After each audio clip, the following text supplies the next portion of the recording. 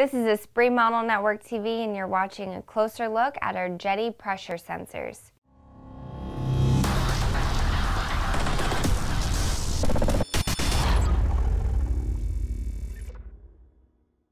In this episode, I'll explain the four different Jeti duplex telemetry sensors we have which are used to measure various pressures. These are available for purchase on jetiusa.com or espritmodel.com. The Jeti duplex system can display up to 40 real-time telemetry parameters at once and offers over 15 different sensors. With so much going on, it's very easy to get lost in what each sensor provides, especially when they seem very similar. Today, I'm going to break down each pressure sensor and explain the features and the uses for these. Let's start with the M-Speed sensors. The M-Speed measures your speed of aircraft by the use of air pressure to provide indicated airspeed. Since your aircraft is moving, the pressure is not the same in all directions. Therefore, the M-speed bases its measurement on the change in dynamic pressure, which is measured by a pitot tube. The ability to measure airspeed can come in handy when determining the stall speed.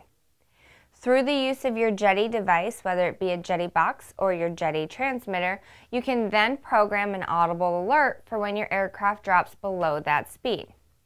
You can also use your Jeti device to program an alarm for when your desired speed has been met or exceeded. Jeti offers two different airspeed sensors, the M-Speed and the M-Speed 450. The difference lies in the speed capabilities of each sensor. The M-Speed can measure 25 to 350 kilometers per hour, while the M-Speed 450 can measure a higher range of 80 to 450 kilometers per hour.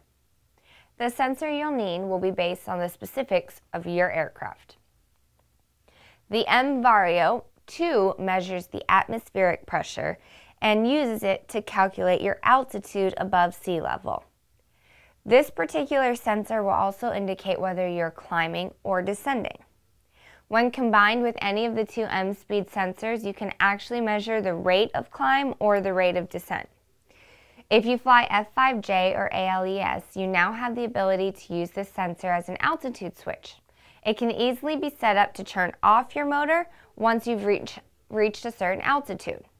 With the M-Vario 2, you can set alarms for various parameters. For example, if you're in a limited altitude contest, you can set an alarm for your maximum altitude. The newest sensor, the M-Alti, uses atmospheric pressure, like the M-Vario 2, to calculate your altitude. It also measures the temperature of the sensor and the air pressure. Very much like the M-Vario 2, this sensor is a more basic, stripped-down altitude sensor. The M-bar sensor measures the fluid pressure in your hydraulic or pneumatic systems. This sensor will not only give you the current pressure, but it will record the maximum and minimum measured values as well. With the M-bar, you can set alarms for high pressure or even a drop in pressure.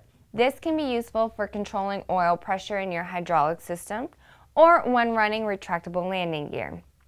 The M-bar can also keep track of the sensor's own temperature. This provides the awareness if the sensor reaches temperatures outside the operating temperature range. All of these sensors talked about here today, with the exception of the M-Alti, can also be used as expanders. This makes it much easier to run multiple Jeti sensors in one aircraft. For product availability, visit our website at jetiusa.com or espritmodel.com. Thanks for watching. See you next week.